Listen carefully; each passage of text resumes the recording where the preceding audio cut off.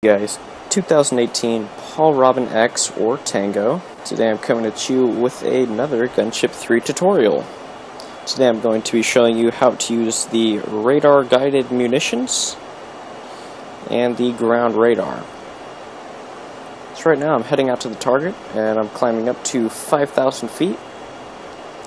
The best thing you can do whenever using the ground radar if you want the most accurate results you're going to want to maintain a constant airspeed and a constant altitude that's usually achieved by leaving the throttle alone and putting the autopilot on. Okay, so let's turn on the ground mode, which is abbreviated GND.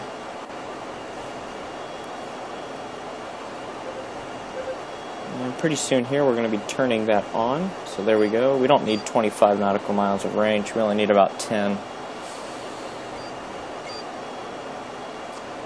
So you're going to see all these blips on the radar. Um, the first one you see might not be the target you want. Okay, so we have 10 there. The larger blip on the radar is actually LZ Alpha.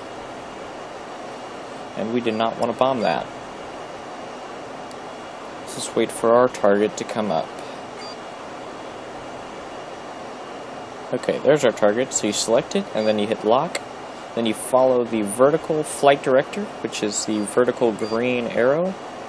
And you wait for the two yellow arrows to meet together, following that vertical green line, and then drop the bombs. And you, my friend, have just dropped precision munition ordnances. It's very effective for night operations. Thank you for watching. As always, my name is 2018 Paul Robin X or Tango.